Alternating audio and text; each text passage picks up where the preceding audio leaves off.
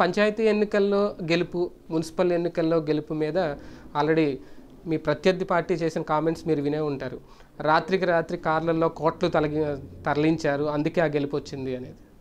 ఇప్పుడు అట్లా అయినప్పుడు ఎలక్షన్ కమిషన్ ఏం చేస్తుంది? పట్టుకుంటారు కదా.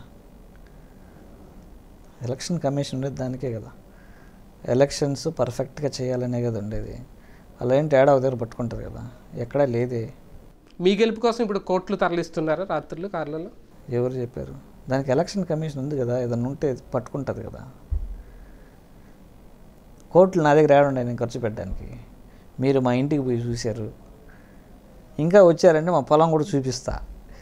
అన్నీ దూరం చూపిస్తాను కావాలంటే. నా దగ్గర మీ దగ్గర డబ్బు ఉంటేనే ఖర్చు పెట్టాలా? మీ వెనక ఉన్న ఇప్పుడు బలం మీ వెనక ఉన్న ఎమ్మెల్యేలు మీ వెనక ఉన్న మంత్రులు మీ గెలుపు కోసం కోట్ల రూపాయలు ఖర్చు పెడుతున్నారు వాళ్ళు రకరకాల ఆరోపణలు చేస్తారు అవన్నీ. ఎందుకంటే వాళ్ళ వాళ్ళు ఓడిపోతారు కదా ఏదో ఒక రీజన్స్ ఎత్తుక్కుంటుంటారు ఆ రీజన్స్లో ఇది కూడా ఒకటి.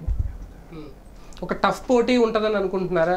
అసలు పోటీ ఉండదు అనుకుంటున్నాం మళ్ళీ దీనికి మళ్ళీ ఏముంటుంది. మా జగనన్న ప్రవేశపెట్టిన నవరత్న పథకాలు ప్రతి ఇంటికి చేరుతున్నాయి కాబట్టి జనాలు కంపల్సరీ మమ్మల్ని ఆశీర్వదిస్తారు. మా వైఎస్ఆర్ కాంగ్రెస్ పార్టీని ఆశీర్వదిస్తారు. మిగిలిన వాళ్ళు అసలు పోటీలోనే ఉండరు వాళ్ళు. మాజీ కేంద్ర మంత్రి గారు ఇప్పుడు మీ బలమైన ప్రత్యర్థి. మేమేం అనుకోవట్లేదు బలం గిల్లం అని మేము అనుకోవట్లేదు. మేము వేరే పార్టీల గురించి ఆలోచించట్లేదు. కేవలం మా ఫోకస్ అంతా నవరత్న పథకాలని ప్రతి ఇంటికి ఎక్స్ప్లెయిన్ చేసి కోట్లాడతాం అంతే వేరే వాళ్ళ గురించి ఆలోచించాం. అవసరం లేదు.